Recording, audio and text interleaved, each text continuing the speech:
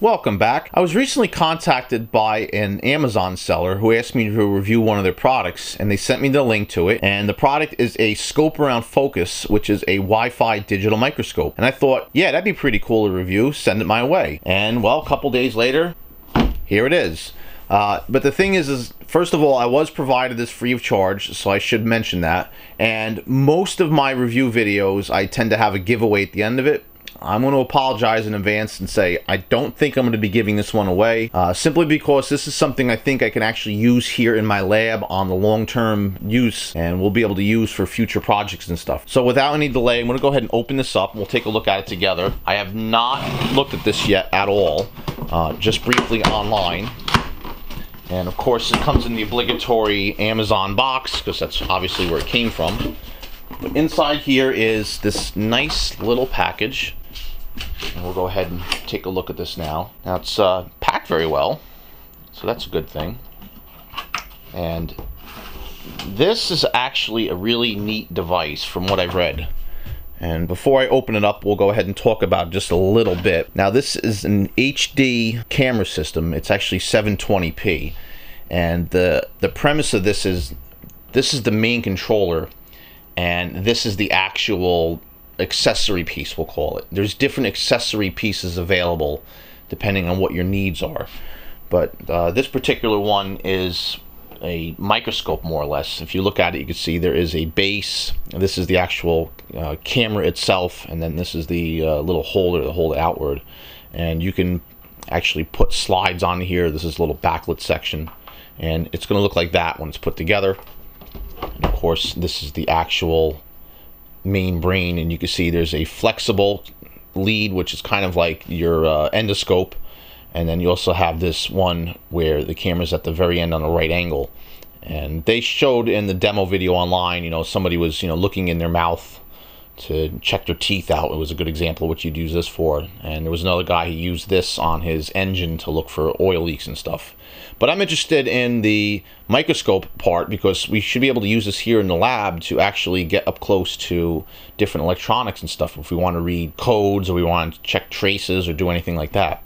So this is what we're going to open first. You see it is the ScopeAround. So of course we'll uh, just go ahead and slice this paper open. And again, you know, packaging is pretty nice on this. Open that up and see. And uh, yeah, so there is an instruction booklet here. We'll take a look at that in a moment. And this is this is it. There's a uh, USB port in the bottom. There's also a USB port at the top, so that's how they're connecting the individual leads. There's a locking button, it looks like. And this is the power button. Now, of course, this is dead, so, you know, I, I was going to open it up and charge it up ahead of time, but, you know, I figured we'll look at this all together and I have time to let this charge. We can come back to it a little bit later. But that would plug into the bottom here and you can charge it. I'm not sure if you can connect via USB, but I know for sure you can definitely charge it. So I'll put that up to the side. Nothing, nothing else in the package here. If you look at the instructions, this just gives you the basics. You can get the ScopeAround app if you want to scan one of those QR codes. It is available for uh, Apple and Android and you can also get it from the Windows Store as well. And I'll go over all the uh, individual specs as well as they'll be in the description below.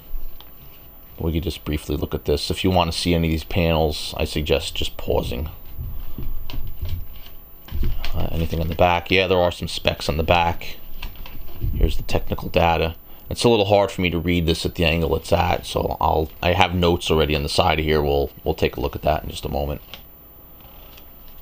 Um, anyway, the other device here, the base, we'll check this out. And again, similar packaging. It should just open up. Kind of reminiscent of an iPhone. So far, it's pretty nice. It's uh, nicely put together here. Now, this is the actual camera itself. Very similar to the endoscope I reviewed. It does have a manual focus at the top here. And I believe this is lit. Not sure if we could see it there or not, but this does, this should light up. We have the arm that actually holds this in place. It looks like there's a clip in the bottom here. There's actually, yeah, this is the base in the bottom here. This is all this uh, closed cell foam inside here. So again, nice packaging. And these clips are adjustable, so if you want to hold something down, you can do so. This is backlit. There is a USB port in the back here, so perhaps this could be just powered up via USB. This is a locking ring. Uh, let's see what other little pieces in here. This is a little mirror that you would put the camera into here and you can angle out the reflection in, in a few different pieces like that. And this is a cone adapter. Then there's also these guys here, which kind of looks like the thing the doctor would stick in your ear to look in there. I'm sure there's a purpose for that. And that's what you get. So what I have here is uh, some specs I wrote down. Now, again, I mentioned this is an HD camera at 720p. It has uh, ingress protection 67, so that's pretty good. It's waterproof. Uh, it has an operating temperature of 32 degrees Fahrenheit up to 113, which is 0 degrees Celsius down to 40 uh, up to 45 degrees. And uh, it has 150x zoom manual focus. As mentioned, there's a backlight on that with the clips. There's adjustable fill-in lights on the piece up here. It can do 800 by 600 or 1280 by 720 resolution. It does have a CMOS sensor. Uh, it's embedded Wi-Fi. It's 802.11 BGN up to 300 megabits a second. It runs on Android systems 4.2 and up, Windows uh, XP and up, and iOS 7 and up. And there's also support for Windows Mobile and Mac OS X. This has a 3.7 volt, 2600 milliamp battery with a three to four hour maximum battery life. If you want the probe length, this guy here is actually uh, 5.9 inches or 150 millimeters, and the diameter is 0. 315 inches or 8 millimeters. The shipped weight, everything you saw here in these boxes was 1.3 pounds, so it's very lightweight. They offer a 30 day exchange or one year labor warranty on it. Uh, well, I found a price $299 MSRP. Uh, at the time of this review on Amazon site, they had listed for $99 which I thought was a pretty good deal. Uh, it does look like quality. You know, we could do a teardown on this, but honestly, I don't see any way of actually getting this apart. It looks like it might be glued together. It's definitely stuck together. Uh, really, only thing that's in this thing is a controller, a Wi-Fi antenna pretty much, and a battery. Everything else is the camera up here. So let's see how this gets put together. I'm going to just kind of wing this. There's also, oh yeah, there's a knob down here. So this is probably to adjust the intensity of the base here. Now it looks like this top loosens and the base would go in and we should be able to screw that down to, yep, that secures it. And then there's the little end up here. This just clips in like that. To get that out, you push the button that should release that, yep. And then the actual microscope itself fits in up here and I don't see any way to tighten it down it's just friction and it's got some pretty good friction to it and then the USB lead just plugs in on top up here that's pretty simple. I'm just going to borrow the charger and the lead from my Samsung tablet here. It's the same uh, micro USB end. Now the question is, is can you actually operate this while it's charging? So if we plug this in the bottom here, there's no indication on it right now. If I push down the button, hold it on, okay, we can see there's a little indicator light here. So what we have to do now is get this paired up with uh, some kind of a device. So I have my tablet handy. Let's see if we can get that to happen. I'm to let this charge up for a little bit because I think that'd be a good idea. We can actually see here it does have charge indicator on it. It's got two out of four bars charged basically and it's working on the third one right now. But interestingly, if we look at the bottom of this, you can actually see that this has a battery on its own. So you can actually plug this in, charge this up separately. And as, I mentioned, there is a light on here. Uh, just tested this out. You can actually disconnect this and of course take the actual scope base piece out, it still powers up. So that does definitely shows that there is a battery in there. So I thought that was pretty neat. But I'm gonna go ahead and let this charge. Uh, while I'm doing that, I'm gonna head over to the Google Play Store because we're gonna need to download an app. Now the app is the ScopeAround app, so all you have to do is look for that. And from what I understand, to get this thing set up, you just press and hold this for a couple seconds, it'll power up. And then you go to the app, the app tells you to go to your Wi-Fi settings and you look for the ScopeAround dash and a number SSID basically, and you connect to it and the password's uh, 80. So once you type all that in, we should be able to connect to it. But I'm gonna go ahead and give this a little while just to charge up, just to make sure everything is right. Now once this is done charging, the indicator lights will go out and I remove the power cord. So to turn it back on again, we just press and hold for two seconds and you'll see that the little indicators lights light up. And I've already installed the ScopeAround app on my tablet here, so I'm gonna go ahead and open that up. And this is going to walk us through how to set this up. So there's two options at the bottom here. Uh, I have a device and have a look, so we're gonna click I have a device and we have three options this the fit the flexible and the focus. Obviously this is the focus so I'm going to click that. And it tells me to long press the power button for two seconds to turn on the device and make sure the battery's fully charged. Well we already did all that already so I'm to hit next step. And then it says please tap your mobile settings Wi-Fi. Wait 10 seconds to start. Find Wi-Fi name ScopeAround dash XXXX so there'll be a number there obviously. And then connect the default password is eight zeros so I'm gonna go ahead and do that now. We'll just swipe into the top up here and uh, we should see that in this list here. Yep, here it is. ScopeAround 100726 is the number it named it. And I'll just hit show password here so we can see one, two, three, four, five, six, seven, eight zeros hit connect and it looks like it's obtaining an IP address and it is connected as we can confirm down by the bottom here so I should be able to now go into that app and it says connected at the bottom here and if we click that we should see something here now it says uh, ScopeAround Focus it's showing an antenna here and it's showing this little preview window I'm assuming if I click that it should take us into the actual camera here there's nothing on it yet I try uh, increasing the brightness on that light you can see it is it is flickering but we're not getting anything on here I'm just going to try sticking something underneath there. Oh yeah, we do have that focus, so we can manually focus this in here and hopefully get an image. And the other thing is, is adjusting how far away this is. Something's starting to come up. Yeah, now we do have something there. Uh, now we have to figure out how to actually turn on the lights on that particular unit. Now there is the backlighting here, but we need we need top lighting. I know you can't really see it on the camera, but there is there is indeed something on there. Oh, there we go. You can see there's a, a close-up. Oh, that's a little better. Oh, now here's something interesting. If you notice, this is upside down, but it's right side up in the image here. So that means I have this backwards, which makes sense. So we could turn that the right way. And now indeed we can slide this in Okay, so that works. That's pretty cool. And we can uh, adjust the focus on this if we want. And it seems like you can actually just grip the top here and adjust that. But I still don't have lighting down on the top there, so I have to see how we can do that. Of course, backlighting doesn't really do me much good. That's better if you have a slide or, you know, you're looking through like a, a leaf or something like that. So uh, let's see. Now we can take a picture by clicking the picture icon or we can take movies by clicking the movie icon and it's going to ask to record audio. Um, I'm assuming there's a microphone built in there if it's asking that. Yeah it just took me back to my Wi-Fi settings. Yeah so I have to go through and actually uh, enable the microphone for this to do that. I'm going to take care of that right now. Well now sadly it seems like I'm stuck in a little bit of a loop. I'll show you what's going on here and, and forgive the camera on screen method but if we go into camera here it tells me to please enable microphone in your phone settings application manager ScopeAround permission so forth, or hit cancel without recording. So if I hit OK, it brings me into my settings. I can go into General, I can go into Application Manager, and we can find the ScopeAround app here in alphabetical order. And when you click on that, I don't really have any place to modify that. It already has permission to record the audio, so that's kind of interesting. I'll have to contact the uh, person who from the company and see if they have any insight as to how we can fix that but we can go back in here we should be able to hit that and hit cancel and start recording without sound which is which is fine um, I'm going to actually take some video on this and I'll inject it into this actual final video that you'll see on YouTube. So you're not going to actually see the screen footage here. I'll, I'll, have some real stuff here. But we can actually go in and uh, there's a settings.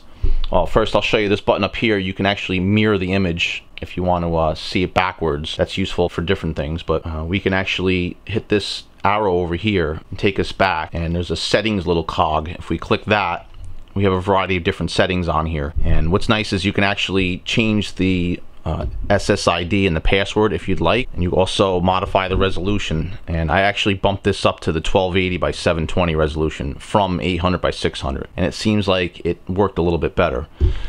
Um, so right now the only flub I can kind of find is the fact that we can't enable the audio recording, but that's not really a big deal. I'm assuming that would be useful for somebody who's trying to narrate what they're recording, but you know, I have other ways of doing that, so that's not really a big deal for me. I do want to figure out though how to turn on the lights in this, so I'm going to try to figure that one out right now. Oh, and apparently it was a lot easier than I thought. You just push the power button in, and if you push it again, you, you increase the intensity and it seems like there's just different steps. So it wasn't that difficult at all. And I have to say this is getting a little warm but the other endoscope that I reviewed did the same thing and that's to expected there's so many little electronics in this thing why wouldn't it get warm is what I'm trying to say again this this friction fit here is good, but it's a little a little tight. And perhaps if there was like an adjustment here that you can turn and make this loose, get it where you want, and then tighten it down like the base has, that might be a little bit better to me, but not bad. So what I'm gonna do now is, is I'm gonna look around the lab here and find some things to put underneath this and get some good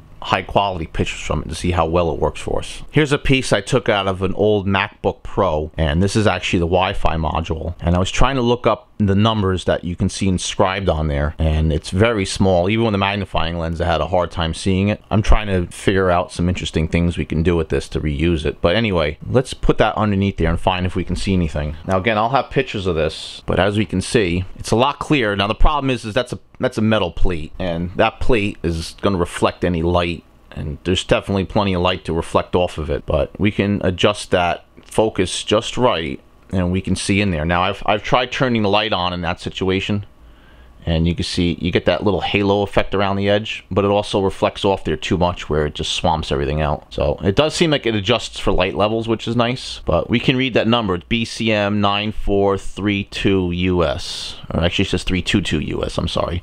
But yeah that definitely makes it a lot easier to read than trying to use the magnifying lens and I can turn that around. We can get a really good up close shot of that board. I'm gonna go ahead and uh, just set that up. And you can see that's one of the connectors for the Wi-Fi connection. And that's with the light turned up all the way on it. So not bad. Uh, if we turn that off you can see it kind of adjusts a little bit. Sometimes it's better to have no light you know but it depends on what you're trying to look at and how reflective it is. And you can see with every light level that I hit it with it seems to adjust so all in all, not a bad device. I'm actually pretty impressed with this. So what I'm going to do now is, as I mentioned, I'm going to take a bunch of different stills with this. Maybe we'll take some video with this. We'll put that in and we'll be right back.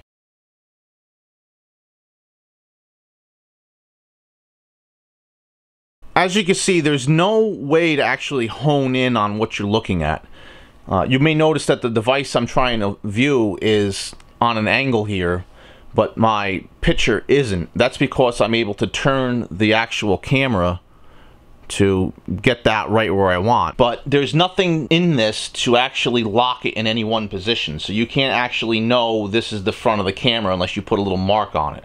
That would just make it a little bit easier to set up. Perhaps if it was keyed, so it had to slip in a certain direction. Um, you know, of course, like I said, you can always adjust your adjust your piece like that if you want. And now we know it's it's straight on. But uh, the other thing is, is there's no indication of how far you're actually zoomed in. Uh, it would be nice to have some kind of a readout to say, you know, you're at 1x, 5x, because it goes up to 150x, but we don't know where we are right now compared to what we can go up to. We only know how much we can zoom in and out by how much we can move this. So maybe if it had like little graduations on here, we could see as we pull it in.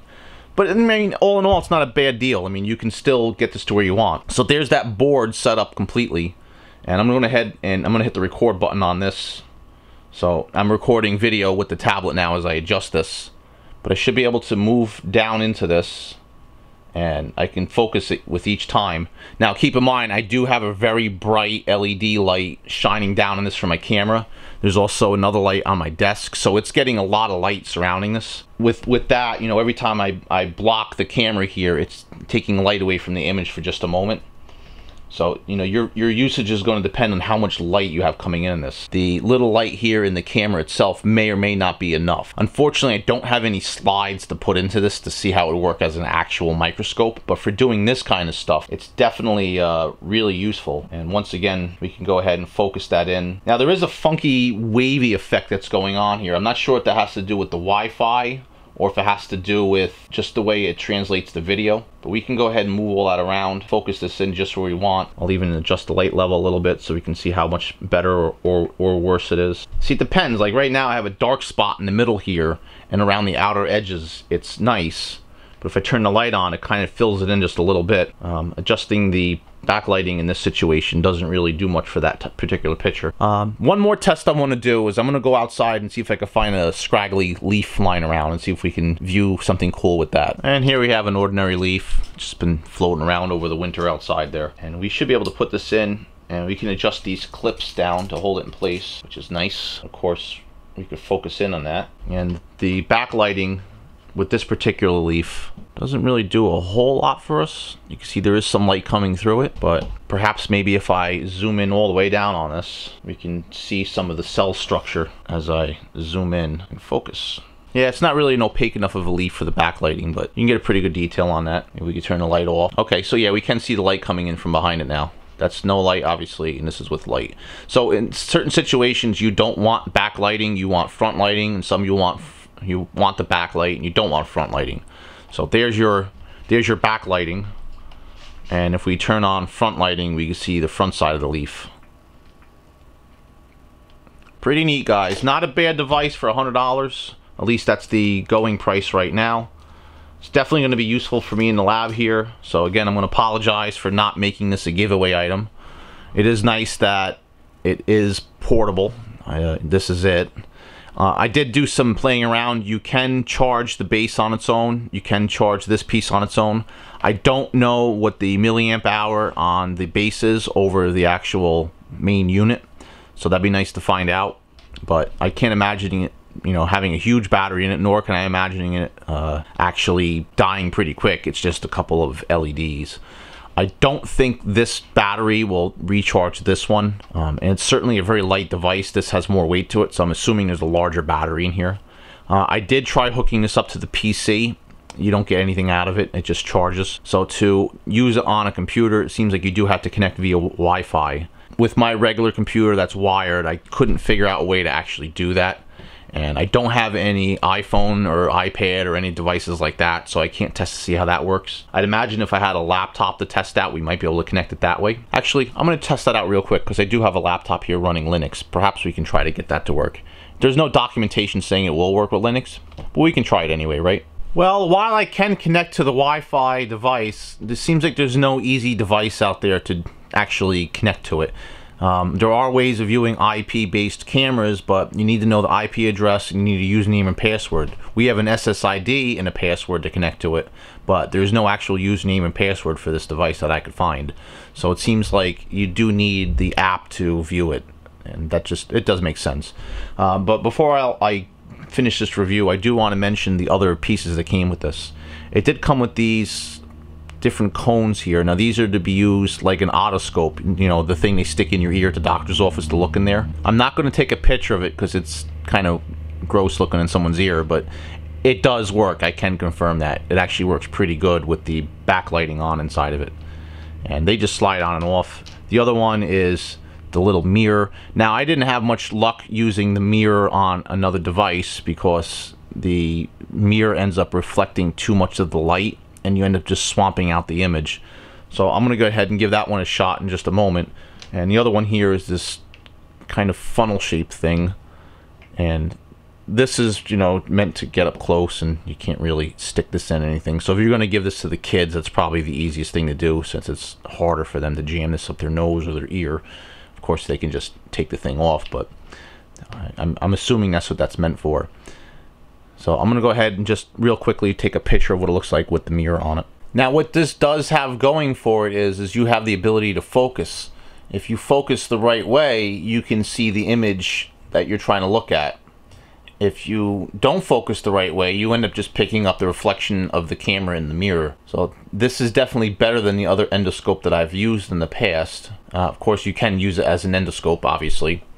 I actually had to reverse the image because it actually comes out opposite in the mirror. So that's why that little button is useful. As you can see, we can just reverse that the right way. Now I do have the box that this came in, and I could pass this down into it where it's dark. And you can see we can't see in there. Now if I turn the light on, and that's when you start to swamp things out. That's when you start picking up more of the mirror than anything. It depends on where you're going to use that little uh, mirror for. It may or may not have the best uses for you. But certainly, if you're just trying to put it in something where it's already lit, like this, you can see there's no problems with that. I'm just going to go ahead and just snap a picture. So what can I add to this? I like this. I think it's a really cool device. It's certainly very useful for a lab situation like we're using here. You can see as we focus in and out that ring disappears. So it depends on what you're looking at and how far away is going to determine how you focus this. So it does take a little while getting used to it, but once you do, it seems like it's a pretty neat device. It'd be nice to get the other attachments, and I'm assuming you can get the attachments separately. I know you can get them as sets. And uh, the last thing I'll do is, is we'll pop online and look at the manufacturer's website just to see what that looks like. And as you can see, there are the three different models that they mentioned between the uh, interdental and the endoscope. I do like the endoscope model because it's flexible. The one I have, it's just uh, like a like a loose noodle. This thing you can bend. It's got some kind of a, a wire inside of it that you can just bend to whatever shape. But we'll just pan around real quick. Now, there are actually two websites. There's scopearound.com, and then there's also the GEECR website, which they have this feature. Now, this sells a bunch of different products, but if you go on the ScopeAround site, you'll get obviously just their particular products. And this is one of these uh, sites you can just scroll through here and look at all the different things. But this is pretty neat to check out because, uh, you know, this is the guy using it to check for leaks in his car and you know, looking for uh, parts in the sink that may be clogged up or looking at flowers or stuff. So there's definitely a lot of cool uses for this thing. Uh, I did see people say it's really cool looking at money underneath this. I haven't done that yet, but we'll, we may play around that in another thing. Uh, it does last three hours fully charged. May or may not have mentioned that. And uh, yeah, it's, it's a very cool device for sure. If you want, you can check out the two links here to take you to the actual app. And in their store, they actually do mention the different models. Uh, now, on the GEECR site, they had this listed as being uh, $269. I've seen 299. I've seen 269. They're selling it for 199. But on Amazon, it is $99. See, they have the list price of 299. Um, but actually, on the ScopeAround site, you can see they have the other models available. And yes, this does answer the question. You can get the actual individual attachments. And if you really want, you can pick up the whole set, which includes the actual main body with all the uh, accessories basically that are available for this, which is nice. And uh, this Teslong at the bottom, that's actually the company that contacted me. I may contact these people and see if there's anything else they want me to review because it seems like they have some pretty nice products. Uh, this is a Chinese-made product, but you know what? Honestly, that doesn't really make much difference because there are great things that come out of China, and there's some not great things that come out of China, and that's that goes for any country. You know, living in the states here, yeah, we have things that are made in America, and you know, most Americans are proud to say made in America. But honestly, I picked up some things that were made here that were junk. So it really depends on who the manufacturer is and what kind of level of quality they have, really. And for what I've seen so far with this thing, there seems like there's a good level of quality. Uh, so what I will do is, is at the end of this video, stick around, you'll see the actual footage that I captured from the uh, camera itself. I wasn't able to open that up, and this particular portion I'm redubbing over, I'm, I'm recapturing all the stuff on screen here as well. So I can know now that as, as I'm editing this live that I wasn't able to enter that in. There is some problem with the file. Uh, it's an MP4 file format, but it's only like uh, five frames a second, it seems like. So maybe that's the reason why I couldn't open it up with my software. I am using Sony Movie Studio uh, Platinum R13. And uh, I was able to open up the files in the computer and I can view them, and I had no problem uploading them to YouTube and viewing them on YouTube. I just could not e edit them into this video. So they will be at the end of this. Uh, I'll use the YouTube editor to put that in. And well, with that, there really isn't much more to say. I do recommend picking up one of these for the lab. It's definitely a very handy unit. Uh, for the money, you're definitely not going to be buying something like you, will see here on Amazon. They have, uh, you know, a $500, you know, big microscope. Yeah, that's that's what you really want if you're doing professional work. But you know, for the everyday tinkerer, I think this is a good deal. I haven't looked at any of these other little cheapy guys, but what I've seen so far with this thing, I'm pretty happy with it. And it seems like it definitely has some very good build quality. So I will I will leave you guys with that, and we'll see you next video.